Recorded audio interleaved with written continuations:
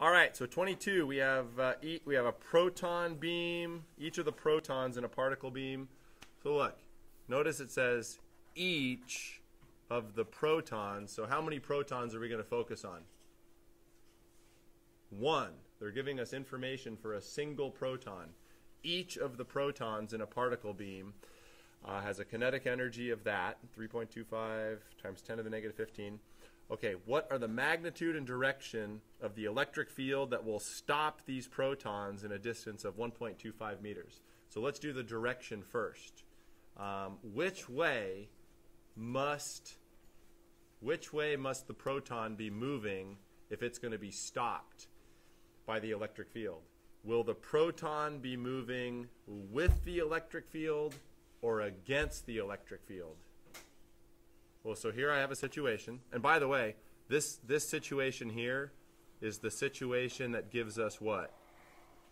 A uniform electric field, right? Which is what we have here. Does it say that? It doesn't say it, but it implies, you know, a constant electric field. This situation, the electric field here, here, here, here, it's all the same. As opposed to what?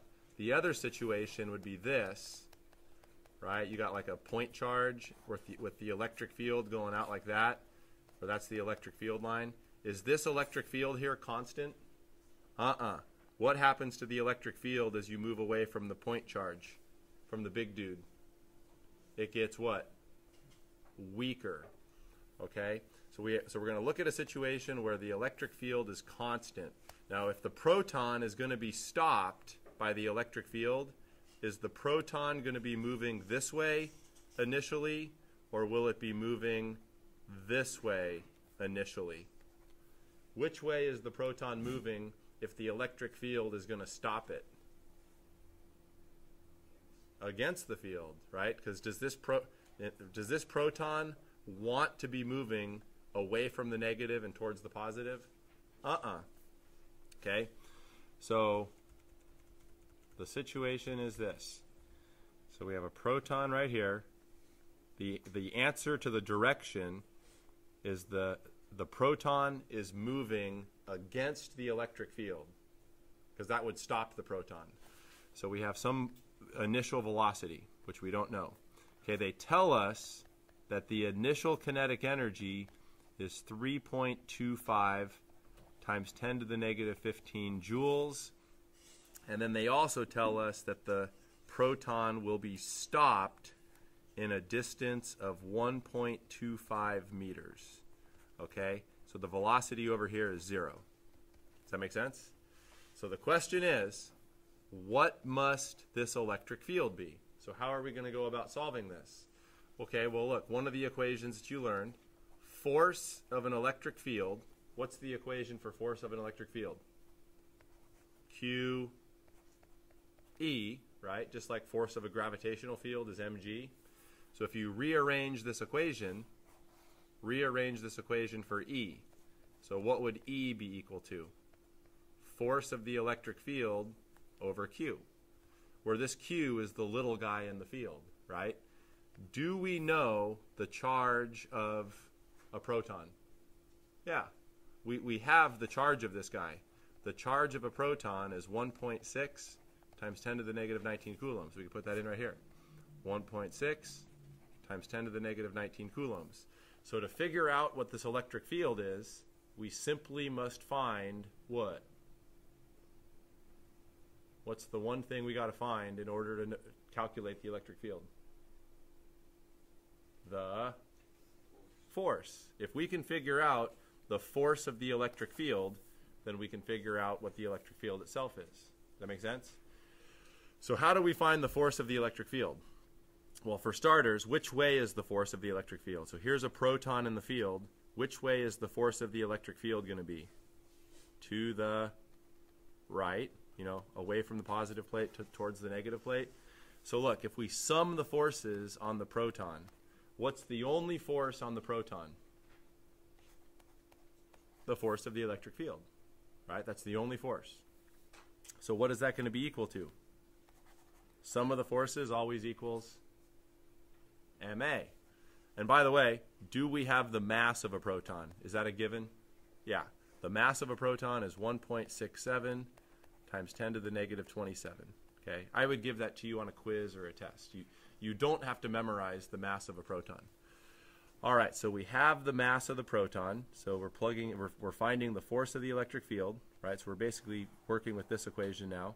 So the mass of a proton is 1.67 times 10 to the negative 27. Now we got to find the acceleration. Well, to get the acceleration, we're going to go to the kinetic energy. What can we get from kinetic energy? Kinetic energy equals 1 half mv squared. So v is going to be square root of 2ke over m. So you're going to take the mass of the proton, plug it in there, take the kinetic energy, plug it in there, and the velocity you should get when you plug in is, is this. You get the velocity is 1.973 times 10 to the 6 meter per second. So that's v initial, right? So we now know the initial velocity is 1.973 times 10 to the 6 meter per second. And then what's v final? Zero. Is this enough info to calculate the acceleration? Yep. So we go, okay, vf squared equals v initial squared plus 2ax. v final is 0. It comes to rest. So a is negative v initial squared over 2x.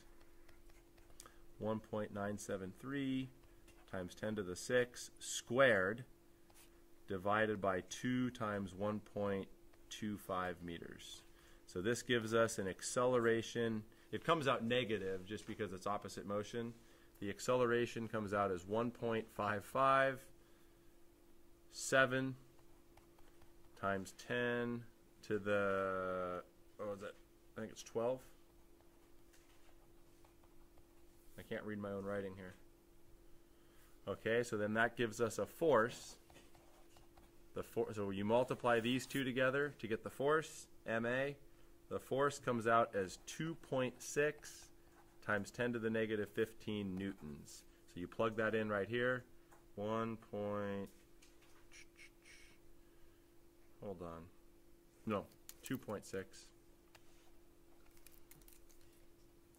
2.6 times 10 to the negative 15 newtons. So the final answer is 16,300 newtons per coulomb. So look, what made this problem challenging? Finding what? The force. Finding the force on the proton is what made this kind of time consuming. There is a quicker way to find the force. Is that what you were going to say? Using work. Look, there's actually a quicker way. Let me show you another way you could have found the force. So back to what we were doing, you know, electric field is going to be force of the electric field over charge.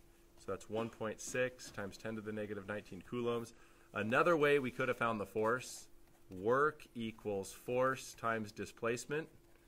Uh, this work, the wor- what's doing work as the proton goes from here to here, there's only one thing doing work.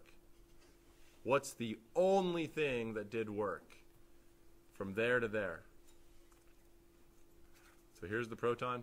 Which way is the force on the proton? That way. The only force that does work is the electric field. What is net work always equal to? Change of kinetic, which is kinetic final minus kinetic initial. Kinetic final is zero. So the net work, work net, is equal to the starting kinetic. So therefore, force will be work over delta x. The work is 3.25 times 10 to the negative 15 joules.